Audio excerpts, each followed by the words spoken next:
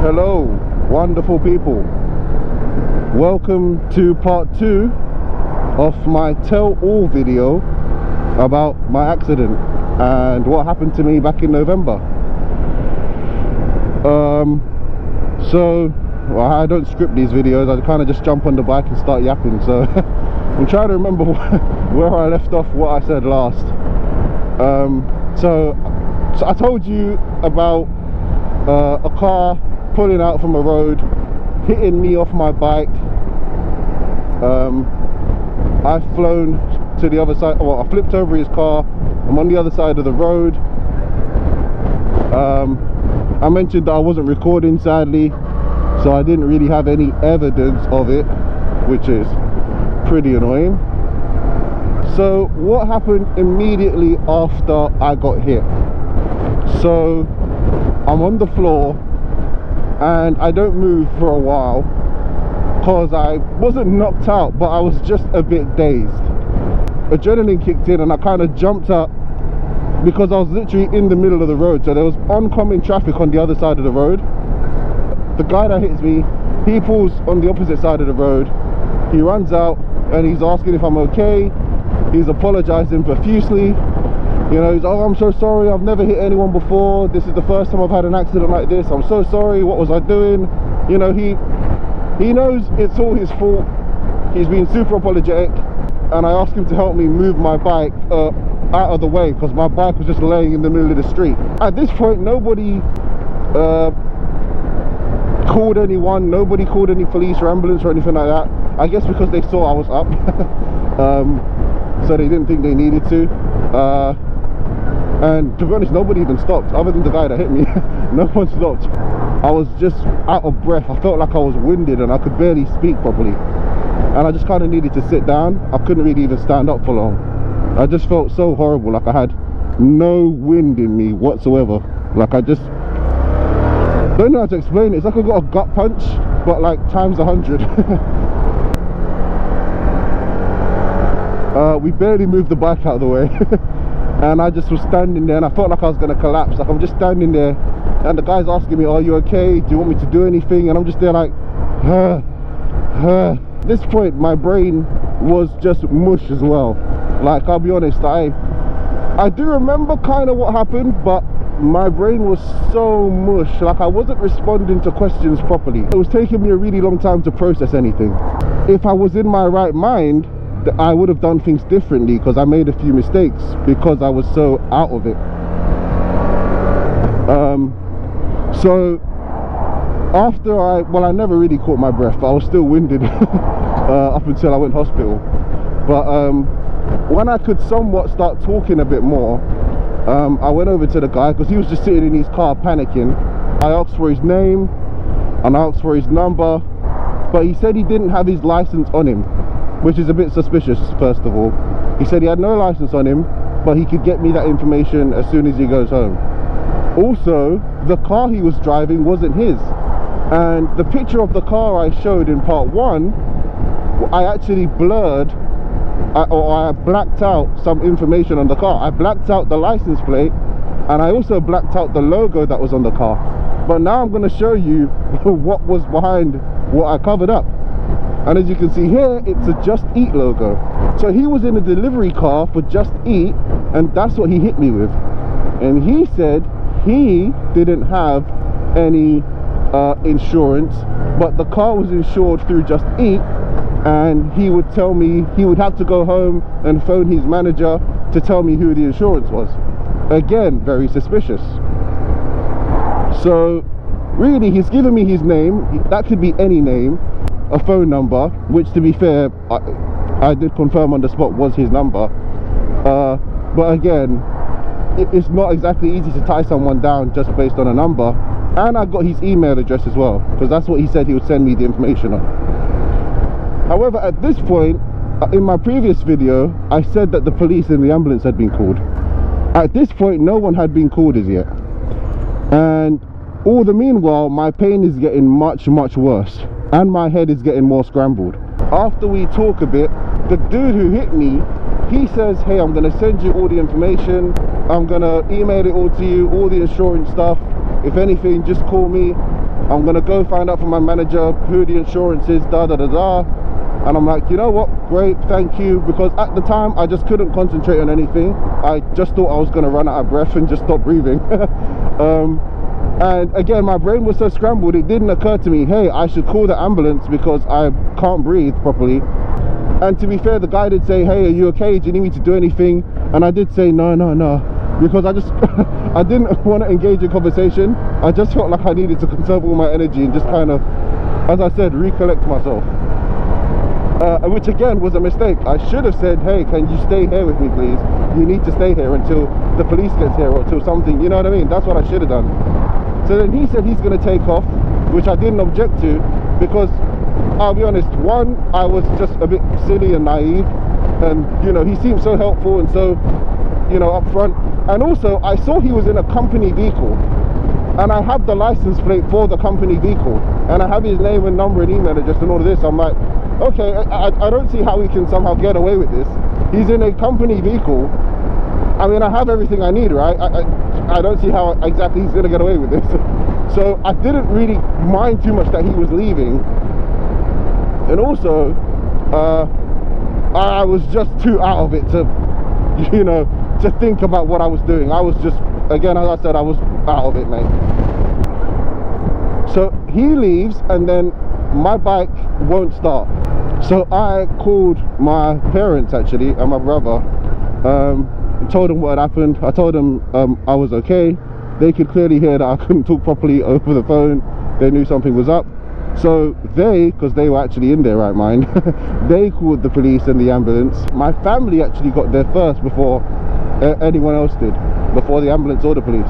And to show how scrambled my brain was my family were asking me questions and I just wasn't responding to them. I just wasn't or my answers weren't making any sense. Like it was just like I remember one particular instance where my brother he was and my brother he came in so clutch like he really helps me out a lot so my brother was trying to tell me, hey, can you pass me your phone so I can get information from your phone for this, that and the other.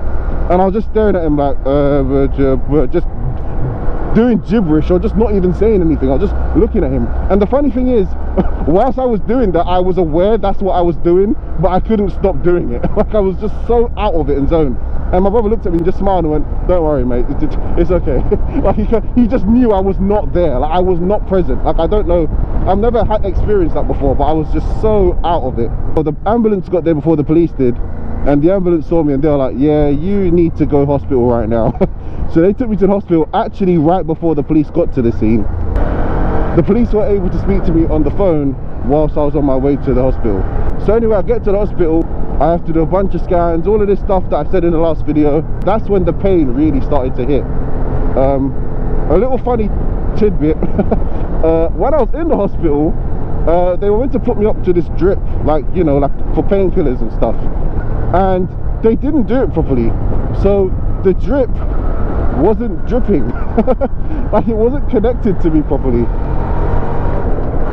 So uh, I wasn't getting any of the pain relief. So I was laying in the, this bed for hours and I'm still in pain. And the doctor comes in like just before I'm about to go home and he goes, how do you feel? And I'm like, I'm in a lot of pain. And he's like, what do you mean? You've got the painkillers. And he looks at the drip and he's like, oh, it's not even dripping. Sorry. I was like, oh, great. I've been laying here in immense pain for ages. and no one checked to see if the drip was actually dripping. I went home with like no pain relief. But anyway, uh, the conversation I had with the police on the phone earlier on my way to the hospital I gave them all the information for the dude that I had. They were actually able to establish uh, communication with him. And they were talking to him and they were you know they were making progress in that area. However where things went south I believe is that the police said that they are intending to prosecute him for dangerous driving or something. I forgot exactly what it was they wanted to get him on. But their intentions were to prosecute the dude. And I think they made him aware of that before they actually got a hold of him. So I think because they told the dude they want to prosecute him for dangerous driving, uh, the dude just stopped responding to them. I mean, all they had was a name and a number and an email address.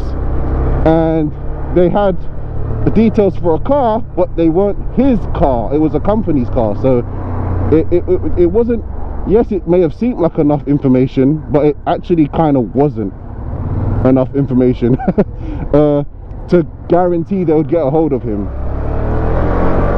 So he just kind of stopped responding, which was a bit annoying. When I told my insurance what happened, uh, my insurance, uh, I, I told my insurance that I wanted to claim through the third party insurance because I don't want to make another claim through my insurance because if you've watched my channel for a while you would know that my CBR 500R back in 2021 got stolen. And because I made a claim for that my insurance skyrocketed the premium skyrocketed uh, and I could barely afford any insurance for my 650R and I didn't want that to happen again so I was trying everything to not make another claim on my own insurance so I wanted to claim on the third party insurance. So I tell my insurance the details of the car and they go, oh, that car is uninsured. and I'm like, how the, how the heck is the car uninsured? It's, it's a company car for Just Eat. Like, what do you mean? I get in contact with the police. The police say the exact same thing. Yep, there's no insurance for this car. In the meantime though, the dude who hit me, he says to me, the insurance is uh, Zurich Zurich, Zurich, I don't know how you say it. But supposedly there's no insurance. For whatever reason, it then takes maybe about a month before the insurance could figure out that it is actually Zurich the car's registered to. I don't get how that happened or why that happened. So again, I'm like, okay, great. They know who the car's insured with. Uh, brilliant. I can claim through the third party insurance. Because to be honest yes the dude hit me but because I was the one who got hit and I was there I, I, it was obvious the guy did not hit me on purpose obviously. That was an inconvenience for both of us. So the whole thing about trying to prosecute the guy for hitting me I wasn't really too bothered about all of that. In fact I didn't even really want that to happen. I just kind of wanted our insurances to deal with it just like I'll I'll pursue the claim through your insurance and we just both go our separate ways like I'm not trying to get you arrested or prosecuted. It, it, accidents happen, you know. I know you weren't trying to kill me. I just kind of wanted his insurance to sort things out. That was where my real beef was with. We're just going back on ourselves now. but, uh, I'm actually on my way to work. I'm just kind of taking a detour before I go to work. so my insurance is like, yeah, we're going to claim through their insurance. Great. And they try and contact Zurich. And this is back in like December kind of time. And pretty much let's fast forward all the way to today which is now march march of 2024 and zurich has not responded to a single inquiry from my insurance they're just completely ghosting my insurance they're just not responding at all I don't understand how that works. I don't see how a whole insurance company can just refuse to respond to an inquiry from another insurance company. So I'm unable to claim through the third party insurance because the third party insurance just doesn't want to respond get this it gets worse. You think okay fine the insurance doesn't want to respond but hey you got hit by a company car a big company car uh, no not the car was physically small but i mean the company is big. Just eat. You've got their license plate. The car is clearly a just eat car. Why don't you just contact just eat? You want to guess what? Just eat isn't responding to anything either. Just eat is completely uh, just blanking everything even the police the police tried to get in contact with Just Eat on multiple times because of this and they're just not responding to anything. It's like what how bad can my luck be that the third party insurance I'm dealing with doesn't want to respond. The company that owns the car doesn't want to respond. It's like what how is that possible? How can everybody just not respond? And get this, because they told the dude who they were prosecuting for hitting me that they're gonna prosecute him guess what he did? He stopped responding as well. So now the guy that hit me his insurance and the company he was working for have all refused to respond to the situation. So i'm just left with nothing. So this is turning out to be a crazy situation and i don't know how big this is gonna get or what's gonna turn out to it. I do have solicitors that are working on this.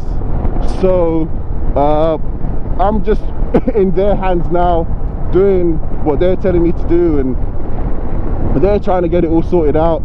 But it's it's just a crazy situation. And uh, looking back the best thing to do would have been to call the police straight away to make sure they were on the scene and they got their hands on the dude. Because I, it would have been a lot easier for the situation um, if they were there right then but after you've been smacked off your bike sent flying in the air land on your back smacking your head on the floor and your brain is scrambled I wasn't thinking clearly uh, which is really unfortunate. So pretty much in the end um, I've had to just recently I've had to just with the advice of my solicitors just claim through my own insurance which is the one thing I didn't want to do. Because I'm never going to be able to find insurance again having to claim through my own insurance. My insurance did in fact write off the CBR 650R. So uh, my bike is gone. uh, you won't be seeing that bike anymore sadly, which is a shame. But anyhow, we're pretty much back up to date with current time. Yeah, it's just the most unlucky situation that I wish I handled differently. But at the end of the day I have to be grateful and thankful that I'm one still alive that I'm two pretty much back to full health um, and three that I can ride. I'm still riding you know and I am still able to make some sort of claim even if it is through my own insurance. So it's not like I'm completely left with nothing right? So it could be worse. It could be much worse. So I'll take it. I'm not going to complain too much that does mean that I'm gonna have uh, to give this bike back at some point. Now that the claim has pretty much been settled uh, I'm not gonna have this for much longer. So uh, and I'm not looking to buy a bike straight away. I need to plan for that. I can't just I know I'm getting some money from the insurance but I'm actually planning on moving so uh, there's a lot to consider with how I use my money. So to be honest I know I kind of made my last video as my comeback video like hey I'm back to making content. Um, very soon I'm going to be gone again. You might get a few videos of this bike and then I won't have a bike for a while. I can tell you what my next video is going to be about though. So you know the whole Rizoma, uh, Rizoma mirror situation? I had a whole video it's still up actually about what mirrors should I put on my 650R well I did actually put the Rizomas on my 650R I got the stealth mirrors. I got them in the end. Um, I put them on the bike. They were beautiful. I loved them and then a few days later uh, the bike got smashed. And yes uh, I think you could see in the pictures that one of the Rizomas did indeed get bent and folded to oblivion. Uh, yeah I just bought really expensive mirrors for them to break instantly. Just another bit of bad luck on the situation you know? But the good news is is that I did record a whole video about them on my 650R which means uh, there is one more video one more entire video for you to enjoy with the 650R which I will be uploading next on my channel. So stay tuned for that video. Um, but until then uh, thank you for watching. And I am very late for work so I'm gonna sign off and I will see you in the next one. Goodbye